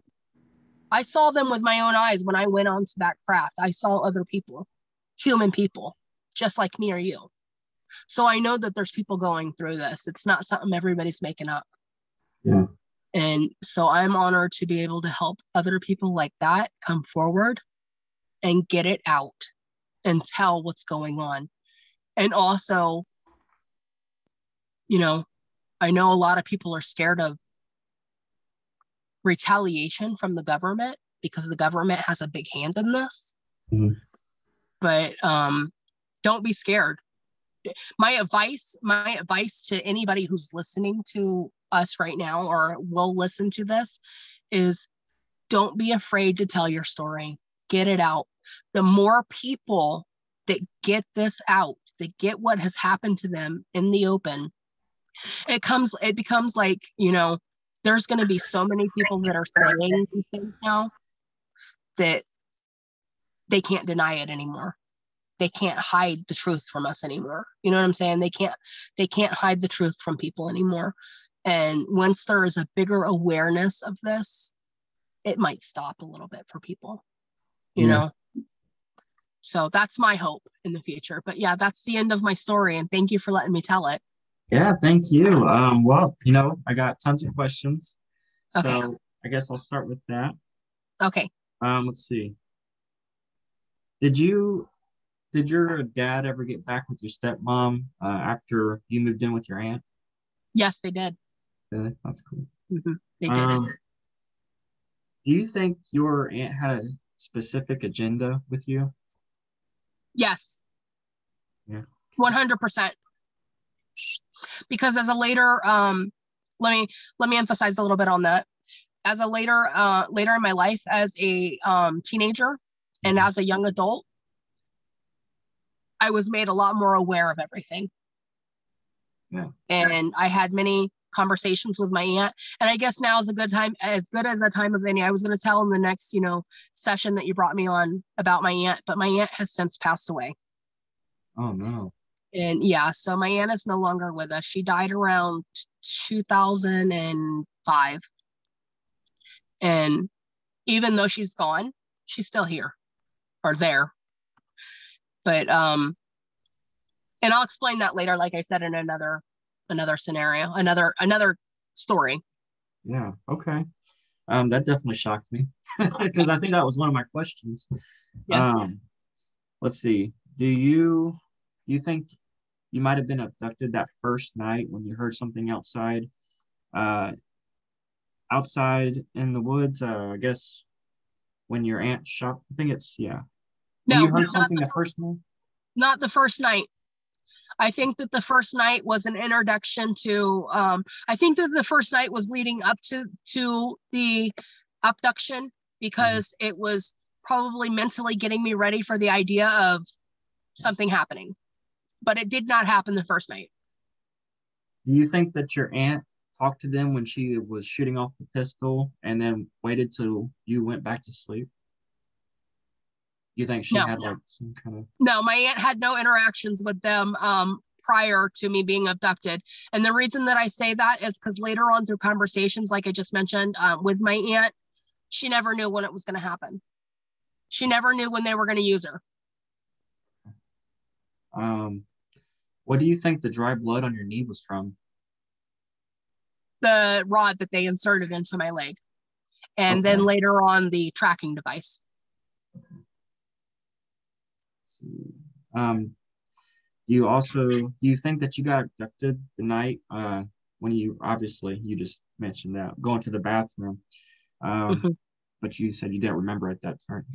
Yeah. Um, Do you think your aunt was well, aware? that night, if you remember, Anthony, that night, remember I said that I saw helicopters, black Yeah. helicopters hovering? And that all goes back to the same subject that I won't go into detail with about the government. Okay. Um, do you think your aunt was aware of what happened to you at that, like before you guys got the uh, um, past life regression, or I mean, uh, therapy? I think that she had an idea because she mentioned um at one point she mentioned, oh God, not this shit again. Yeah. And I think that she had an idea. Okay. Um, what city and state was this place again that you guys uh, camped at? Gulf Coast of Florida. Oh no, the camping, the camping was in Central Florida. Central Florida. And The park was called Withlacoochee State Forest. Okay. Um, is it still is still around or open? Yes, it's an active um state park still. Okay. Now, how old was your aunt when you were 10? Do you know? When I was 10, Mm-hmm. in her 30s. In her 30s. Okay. Do you know when she first experienced her um, encounters or dealings with them? I want to say childhood, but I don't know if I'm accurate on that Okay. Uh, when because she always had a calling throughout her life to help people. And I mean that in her waking life, not in a sense of the way they used her. yeah, Hence the reason why she probably became a doctor. Um, how do you think when you when the park ranger came, how do you think those burns got on the ground that he mentioned? Birds or burns? Sorry. Burn, burns. They burns Burns. that yeah, the ranger mentioned. I know why. Mhm. It's um they had visited that area, and when I say they, I mean the entities, extraterrestrials, had visited that area prior to our abduction. All right. Um, and he also meant it uh, mentioned the uh, gutted animals. What do you think that was from? Experiments. Experiments? I figured since you were in a wooded area, wasn't you? Like backwoods? Yeah, Deep Uh, woods. deep woods. I I I seem to think a lot of times that there's other creatures and cryptids and stuff out there like Bigfoot and Dogman and stuff like that. That, that are and any one of those things may have been a possibility. Um, but I can assure you during this course of time, they Yeah. were not Okay. because there was something bigger and badder around. Um, why why do you think your aunt wanted to stay in the mountains, even though I know it was dark and stuff? But say like she could ask the park ranger. The just to burial go- ground, you said, or the camp? Uh, I guess where you guys were at the burial grounds where you camped out, right? No. Well, no, the burial ground was s- uh, just an activity that we did, but I understand what you're asking. Why do I think that my aunt wanted to stay camping Yeah. Sunday night? Um, Sunday night, right? Yeah. Um, at the time, at the time, I thought it was just because she didn't want to drive out of there, you know, during the dark. Yeah. But now that I reflect on that, um, she was in her 30s, so she was young.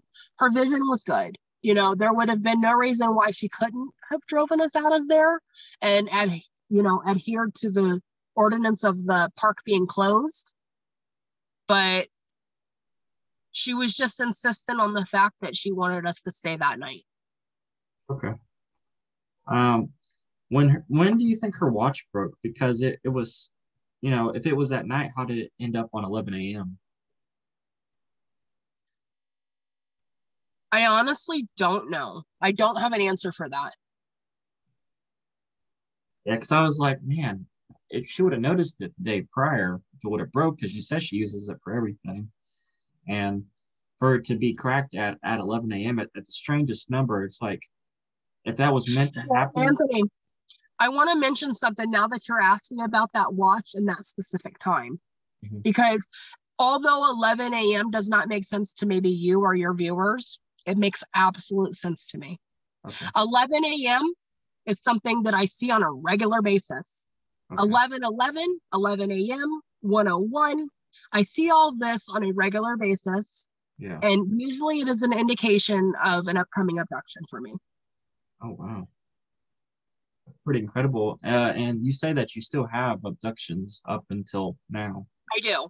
My most recent one, which I will not go into a lot of detail about, but I will tell you, um, was before I moved to where I'm at now, and I was being pulled out of my bedroom window. That had to be scary. I was being levitated off of my bed and pulled out of my bedroom window as my husband slept next to me. Has he ever awoke to that or Yes. um, been terrified? Yeah. He's awoke to it, but it stops when he awake when he's woken up. How does he how does he feel about this happening to you all the time? My husband has always been a skeptic. Okay. Um, I feel like he um, supports my stories. Mhm. I don't know how much he believes of them. I feel like regardless, he supports me. Okay. All right. Um, do you know if Miss Janice is still alive? And if so, um, do you think she still has that video evidence of I have no idea. Um, Miss Janice is just um, a name that I gave to protect her privacy, but I have no idea of anything about her, where where she is in Florida, um, if she still practices hypnotic regression. At the time, she was in her 60s. I'm 36 now, and I was 10, so I don't know. Um, I do have, I want to say I have one or two pictures, or maybe maybe maybe even three pictures of that camping trip Yeah. that I'd love at a later date to post. Um, one of them, well, I was fishing, and you know, so I have some pictures just to give the audience an idea of what it looked like there. Yeah. But um, as far as Miss Janice goes, I don't have any information on her, unfortunately. Okay. Um, I think I only have one more question unless something else pops up. Okay. Um, do you think your aunt remembered uh, being in the UFO when she was coming out, and then when she woke, when you guys woke up, she was being like mean to you about like you getting mud in the tent? Okay, so I think my aunt subconsciously knew what happened. Yes. Mhm. And I think the result of that was her consciously uh, um, getting on to me the next day. And it was it was a cover up basically to make me think that I had went out and got tent all dirt all over the tent Yeah. and um you know then she because because she had the very specific question of andrea do you remember what you did last night Yeah. and so i will never forget that question because and it still resonates in my mind to this day as i think about the whole series of events Yeah. her very specific question to me the next morning andrea do you remember what you did last night i didn't i did not remember What was her last words to you before she passed away? Well, it's kind of incredible because my aunt committed suicide. Hmm. My aunt, um, I used to speak with her every week before she died. And um, now this is this is very, very hard for me, Anthony. This is a subject that will make me cry because my aunt meant the world to me. Yeah. Um, I used to speak with her every week um, before she passed away. And um, without fail, we had phone conversations every week, even into adulthood before she passed away. And um, there was nothing leading up to me even knowing that this was going to happen, um, except for I knew that she had a lot of medical problems. She had um, previously in her um, in her career uh, attracted or contracted, excuse me, I don't know, um, hepatitis B from injecting a patient that had it and then subsequently accidentally injecting herself. Okay. And so um, I knew that she was suffering a lot physically. And, um, but I didn't know the extent of it because at that point I was an adult and I didn't live with her anymore. But the last thing I remember, the last conversation I remember having with her before finding out about her passing on the day that she passed was her and her husband, because she was newly married for the second or third time, newly married, and her and her husband were going to go close on a house that day. They were set um they they had plans to go and sign the paperwork to close on a house and that they were going to both be buying. And um from the way that it was told to me they did that. Then they came home and billy was his name went to her husband went to the store the grocery store and the pharmacy to pick up other medications. Yeah. and um this was an assisted suicide um nobody was there but billy knew about this and assisted in it. Um he put the medication within reach of my aunt so that she would have access to it. Yeah. and um per her request and um went on to the store. And during the time that he was at the store she did what she had to do and was and and um was gone after that. And do i think that her physical ailments were enough to have made her do this? Absolutely not. Do i believe that what she was going through with the government and being used was? Absolutely. She wanted it to end. She, there was t- towards the very end of her life, we could talk like I'm talking with you right now about these abductions and everything that was happening. Um, and she was telling me that she was being visited on a regular basis, that they were coming in on a regular basis and surrounding her bed and paralyzing her. And she just couldn't take it anymore. Yeah. She just did not want to have to do it anymore, be used anymore, because it was taking such a toll on her to have to do whatever it was that they wanted her to do to all these people that they were taking. Wow. Well, um, I, I appreciate you for coming on and you know telling your story, and I know that we're going to be having you back on for a few other episodes because you have plenty of stories. And if, if I didn't have to go to work right now, then we'd be having you do another one. So yeah. Um, I gotta say, you seem like um I had a really, like I said, a beautiful relationship with my aunt, and she's somebody that I could talk to for hours. Mhm. And honestly, like I said in the very beginning, Anthony, I'm very much able to read people, Mhm. their personalities. And I found out, well, I I I found out when I first met you, before even knowing who you were, Mhm. that you were somebody that is very much like my aunt, and I can somebody I can probably talk to a very long time in in detail and not be judged. Yeah, So, no, I I definitely I appreciate you. I yeah, I don't want to judge nobody. I when I created this uh, show and channel, I just I want people to come on and tell their stories. And you know, obviously they're not going to tell other people. And you know, there there's something bigger at hand. And I feel like if everybody was just to put in their stories, we can actually connect the dots and see the bigger picture. Anthony, when you say that there's something bigger at hand, I know that you don't emphasize on that, but I know that you have an idea of how big. I know that you understand that it's a lot more than what is able to even be explained. Yeah, most So- definitely. Yeah.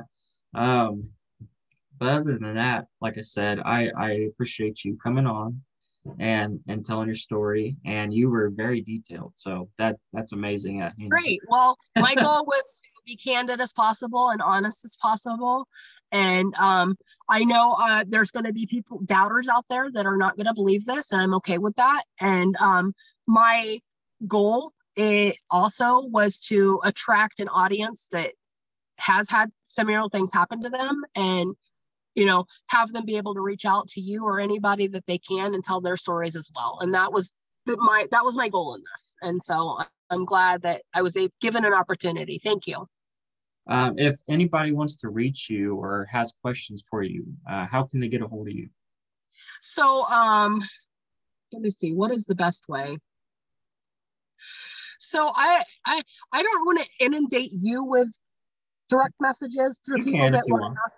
Okay, well, anybody who wants to ask me any questions direct, direct can directly message you if that's okay, and I'm willing to answer anything that they that they ask. Or um, if if if this is seen by maybe bigger people who have television abilities or something like that, you know, um, at that point, I would say that I would let you advocate for my story and decide how you best want to move forward with telling it. Okay. Well, Okay. before we close the show, is there any closing comments or advice you'd like to give uh, the viewers for your experiences? So, like I said earlier, um, my biggest advice to anybody watching this is guys, don't be afraid, come forward. Um, I mean, I know that's that's hard for me to say because I was afraid to come forward, but I'm honestly not now. I feel like I've got I feel like a lot of weight has just been lifted off of my chest. And I want that same thing for everybody else. I want you guys to come forward. I want you to get in touch with Anthony or whoever it is that's around you and get your story out. And if you don't feel comfortable coming on video and doing it, then, you know, call him and let him record your story. Or, you know, if you can't do either one of those, at least write it down.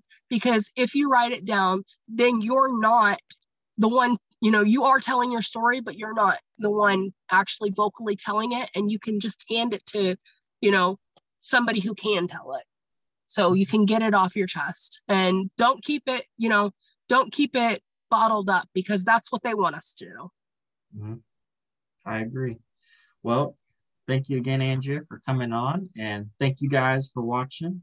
And I just want to say that's been another episode of Real Supernatural Encounters. And I hope you guys have a great evening. We'll see you later. Thank you. Bye, everybody.